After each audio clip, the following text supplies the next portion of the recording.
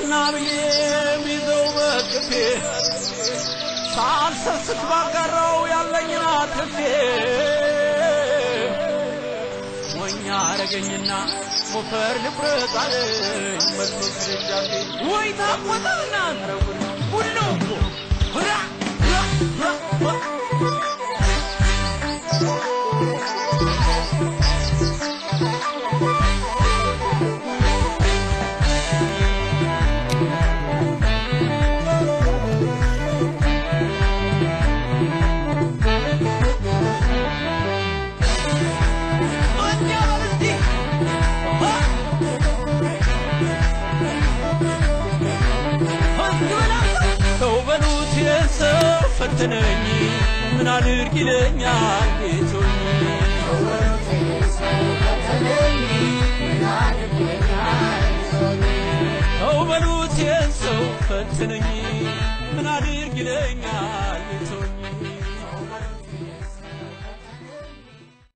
ብርሃኑ ድረስ እባላለሁ። የአንድ አቤት ወረዳ ግብርና ሰብል ልማት ሙያተኛ ነኝ።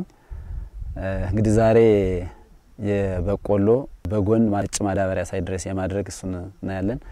ይህንም ስናደርግ እንግዲህ በአርሶ አደሩ በወረዳችን ባሉ አርሶ አደሮች ላይ መሰረታዊ ችግር የምንለው ከዩሪያ ማዳበሪያ አጨማመር ጋር ተያይዞ መሰረታዊ የምንላቸው ችግሮች አሉ። የመጀመሪያው ችግር ጠብቆ ከተዘራበት ከ35 እስከ 40 ቀን ባሉት ቀናት ውስጥ አረሙን አርሞ አለማድረግና ሁለተኛው ደግሞ በሚፈለገው ቦታ የሚፈለገውን ማዳበሪያ አለማድረግና ሌላው ማዳበሪያውን በሚያደርጉበት ሰዓት ያለማልበስ መሰረታዊ ችግሮች አሉና ይህንን እንግዲህ ዛሬ በአርሶ አደር ዘላለም መንግስቱ ማሳ ላይ እናያለን። ያው ተከታተሉን።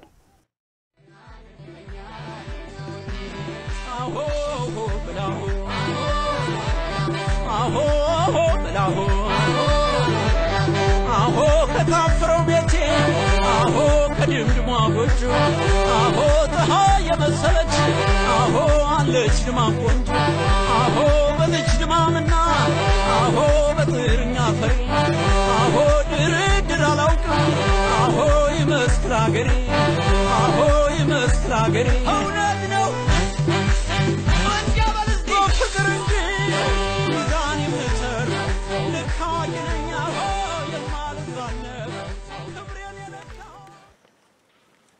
ዋላችሁ ጋሽ ዘላለም? እግዚአብሔር ይመስገን። ሰላም ሰላም ነው? እንዴት ነው? ደህና ናችሁ? ሰላም ናችሁ? ባለፈው በበቆሎ በጎን ማዳበሪያ መጨመር ላይ ለ- ለማስተማር ቀጥሬ ነበረ። ያው እኔም በቀጠሮ መጥቻለሁ። ፈቃደኛ ነህ ለመማር? በጣም መንጣትክን አመሰግነዋለሁ። አቱ ልጆችን ይዤ ይኸው እንግዲህ ዩሪያ ማዳበሪያ እየጨመርኩ ነው ያለው። አሁን አንተ መንጣትክን በጣም ነው የማመሰግነው። እንግዲህ ትምህርቱን ለመማር ዝግጁ ነኝ። ያስተማርከኝ ትምህርት እቀበላለሁ። መማር ፈቃደኛ ከሆንክ እንግዲህ ነጭ ማዳበሪያ በጎን በበቆሎ ላይ በምንጨምርበት ሰዓት የሚያስፈልጉ ቅድሚያ ዝግጅቶች አሉ። እሱም እንግዲህ የመጀመሪያው አረም የጸዳ ማሳ መሆን ነው። ሌላው ደግሞ እንግዲህ ዩሪያ ማዳበሪያ ያስፈልጋል፣ ኮርኬ ያስፈልጋል ወይም የሀይላንድ ፌ ያስፈልጋልና እነሱም እንግዲህ ተሟል- ተሟልተዋል። ስለዚህ ወደ ትምህርቱ ወይም ወደ ስራው መግባት እንችላለን፣ መጀመር እንችላለን። በቆሎ side dress ስናደርግ ወይም ዩሪያ በጎን ስንጨምር የሚያስፈልጉ ቁሶች አሉ። እነሱን እንግዲህ ያዘጋጃልኩ ካሉ አሉ እነሱን እስቲ እንግዲህ እንያቸው።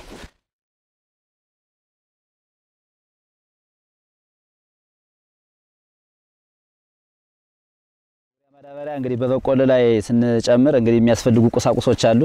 እንግዲህ የመጀመሪያው ዩሪያ ነው። ዩሪያ ተሟልቷል። ሌላው እንግዲህ መቆፈሪያ ነው። መቆፈሪያም የተሟላ ነው። እንግዲህ አንተ ጎበዝ አርሶ አደር ነህ። የሰው ኃይል ያስፈልጋል። እንግዲህ የሰው ኃይልም ቢሆን የተሟላ የሰው ኃይል ይዘሃል። ኮርኪም አለ። የማዳበሪያ መያዣ ሳህንም ቢሆን የተሟላ ነው። አንተ በጣም የምትደነቅ አርሶ አደር ነህ። ጎበዝ ታታሪ አርሶ አደር ነህ። ስለዚህ እንግዲህ ወደ ስራው መግባት እንችላለን። በቆሎ ላይ በጎን ዩሪያ ማዳበሪያ ስንጨምር ለአንድ ሄክታር የሚያስፈልገው ሁለት ኩንታል ነው። እንግዲህ ያንተው ማሳ ደግሞ እንግዲህ ግማሽ ጥማድ ናት። ለግማሽ ጥማድ ደግሞ የሚያስፈልጋት እንግዲህ 25 ኪሎ ግራም ነጭ ማዳበሪያ ነው። አንተ ደግሞ በቂውን ስለስ እንግዲህ ከዚያም እያየነው ሌላ ቦታ ላይ ማስቀምጣል እያየነው ነው። ስለዚህ አሁን ወደ ስራ መግባት እንችላለን። መጀመሪያ የሚያስፈልጉ ቁሳቁሶች ስለተሟሉ እንግዲህ ደግሞ በተግባር እንዴት መጨመር እንዳለበት ላሳይህ ወደ ማሳው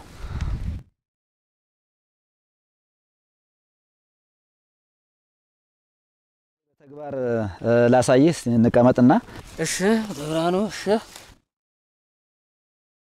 ማዳበሪያ በቆሎ ላይ በጎን ስንጨምር እንግዲህ ከበቆሎው 10 ሴንቲሜትር ከፍ ብለን ጥልቀቱ ደግሞ ከ7 እስከ 10 ሴንቲሜትር እናደርጋለን። በቆሎው ማዕከል ከዚህ አንስቶ እስከዚህ ያለው ነው። ይህ ማለት እንግዲህ ከበቆሎዎች 10 ሴንቲሜትር ከፍ እንላለን። ይሄ ማለት እንግዲህ በጣታችን ለክተን እንደዚህ አድርገን ማቆፈር ስለምንችል እስከዚህ ላይ ሆኖልናል። ከዚህ ላይ ከቆፈርን በኋላ ነጭ ማዳበሪያ የምናደርገው እንግዲህ ጠለቅ አድርገን ነው የምናስገው። ከ7 እስከ 10 ሴንቲሜትር ድረስ ጠለቅ አድርገን ማስቀመጥ ስላለብን ላይ እናስቀምጣለን ማለት ነው። ሁለት በቆሎች ናቸው። እንግዲህ ለነዚህ ሁለት በቆሎች የሚያስፈልገው የነጭ ማዳበሪያ መጠን እንግዲህ 6.4 ግራም ነው። እንግዲህ 6.4 ግራም የሚለው ለእናንተ ሊያስቸግር ስለሚችል ለነዚህ የሚያስፈልገው አንድ ኮርኪ ከድርበ ወይም በዚች በሃይላንድ በሃይላንዷ በዚች አንድ ሃይላንድ ለነዚህ ለሁለቱ በቆሎች ያስፈልጋል። እንግዲህ የሚያስፈልገው እንደዚህ አድርገን ከ7 እስከ 10 ሴንቲሜትር እንደዚህ አላቸው ላይ ማለት ነው። በዚህ መንገድ እናደርጋለን። ገብቷል? እንዴት? ገብቶኛል። አቶ ብርሃኑ በጣም አመሰግናለሁ። የምጠይቅሃለኝ የምጠይቅ ጥያቄ ምንድን ነው? ለምሳሌ አሁን በቆሎ ላይ ርቀቱን የአስር ሳንቲሜትር ወይም ጋት ሙሉ ነው ብልሃል። እዚህ ስሩን የለቀቀው ነው የሚመስለኝ። ስሩ ላይ እዚህ ላይ ባያደርገው አይቻልም? ይቻላል። ከዚህ በተጨማሪ ሳልቆፍር ላይ ወይ እዚህ ላይ እዚህ ስሩ ላይ ራሩ ላይ ባደርገው ሳልቆፍር ምን ይላል? ይሄንንስ እስቲ ታብራራልኝ። የመጀመሪያው ጥያቄ እንግዲህ ጠለቅ አድርገን የምናደርግበት ለምን ጠለቅ አድርገን አደረግነው ከላይ ያላደረግነውም ከስሩ ላይ ያልከው የመጀመሪያው ከሰባት እስከ አስር ሴንቲሜትር ድረስ ካላደረግነው ወይ ይሄዳል ማዳበሪያው ማለት ነው። በዝናብ በተለያየ ምክንያት ታጥቦ ስለሚሄድ ለሰብሉ ምግብነት አያገለግልም። ሌላው ደግሞ ሁለተኛው ጥያቄ ከለምን በላይ ከሰብሉ የማናደርገው የሚያልከው እንግዲህ ይሄ የምንጠቀመው ማዳበሪያ በባህሪው ኬሚካል ነው። ኬሚካል ስለሆነ ይሄኛው ደግሞ ተክሉ ህይወት ያለው ነገር ነው። ኬሚካሉ ስለሚያቃጥለው በቆሎው ጥቅም ውጭ ነው የሚሆነው።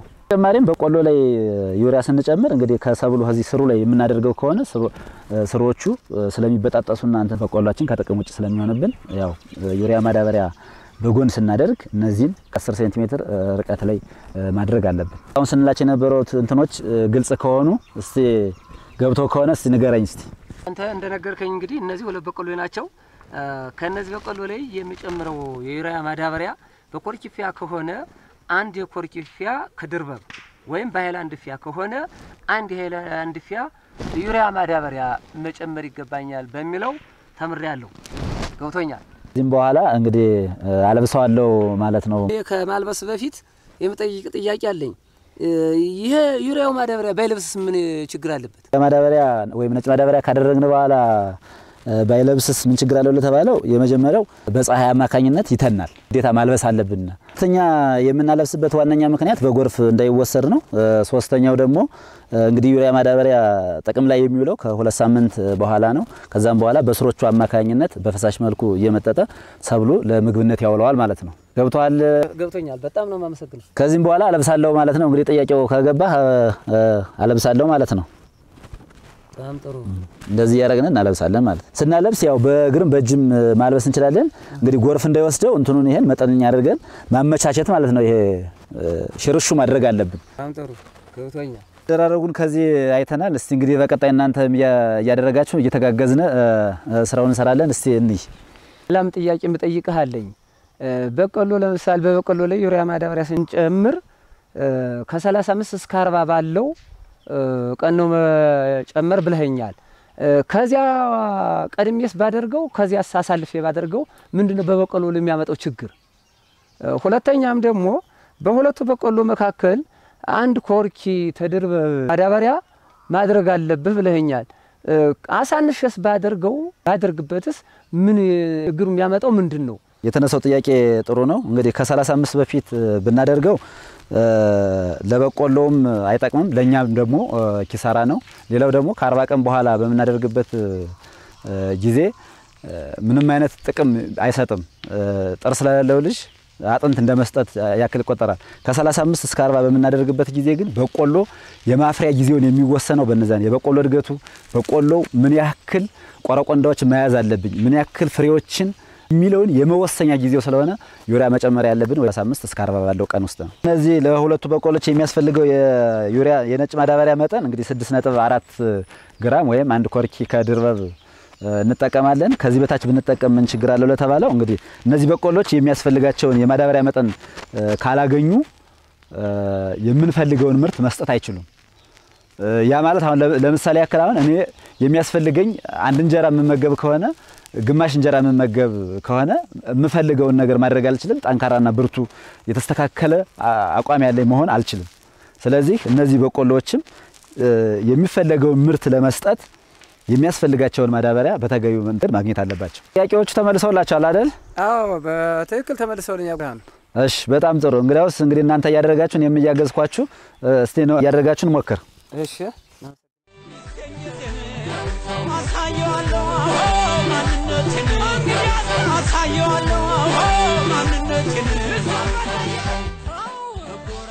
ደግሞ ላሳያችሁ እስቲ ነው አረዝ እስኪ ታደርጉና እዚህ ላይ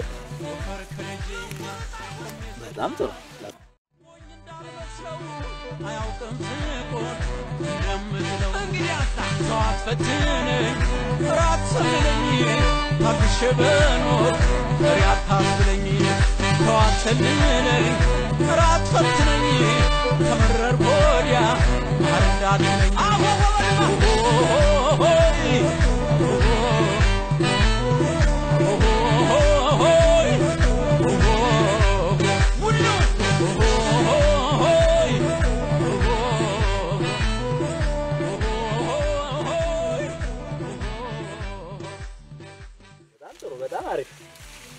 በጣም ጥሩ ነው።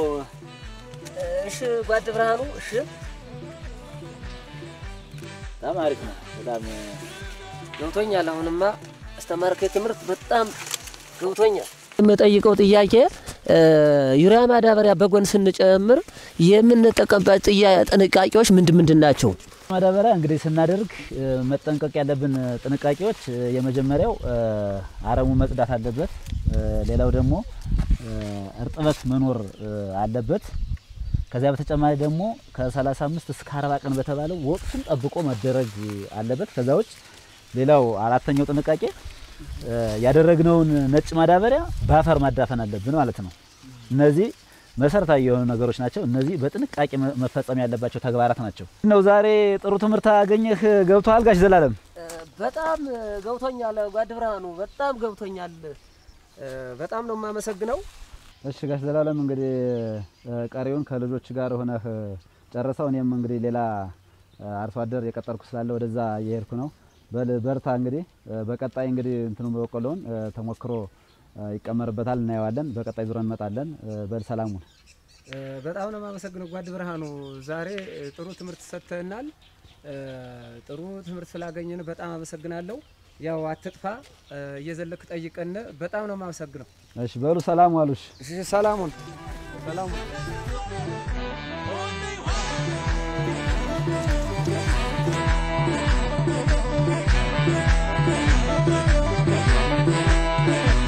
ተው በሉት የሰው ፈተነኝ ምን አድርግ ይለኛል ቤቱኝ ተው በሉት የሰው ፈተነኝ ምን አድርግ ይለኛል ቤቱኝ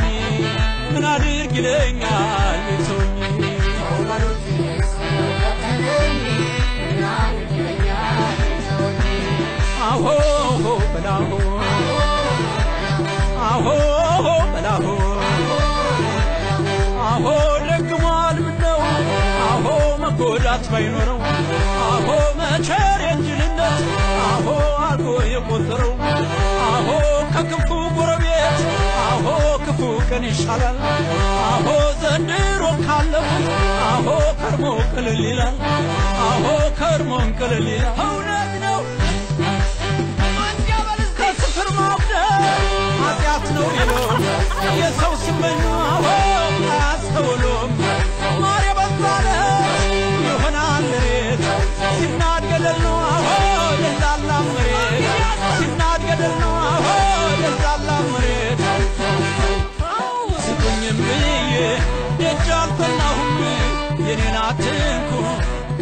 እኔ አልተኛሁም ካልጠፋ ሸጋ ካልጠፋ ሰው የኔ አልኳት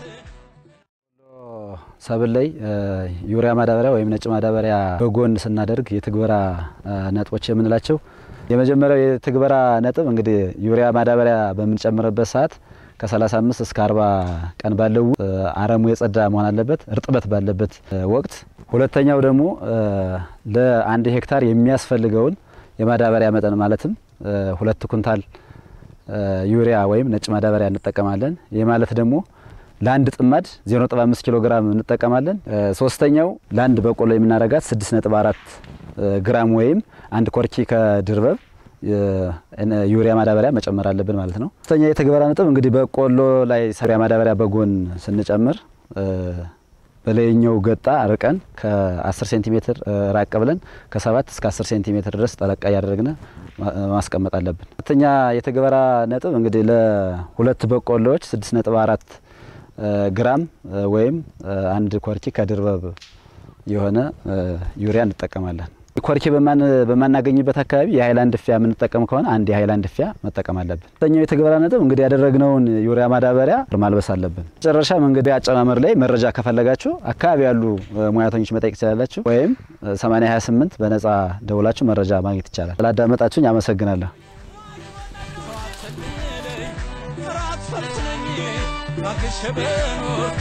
ራት ሰው አትሰልለኝ ራት ፈትነኝ ከመረርኩ ወዲያ አረ እንዳትለኝ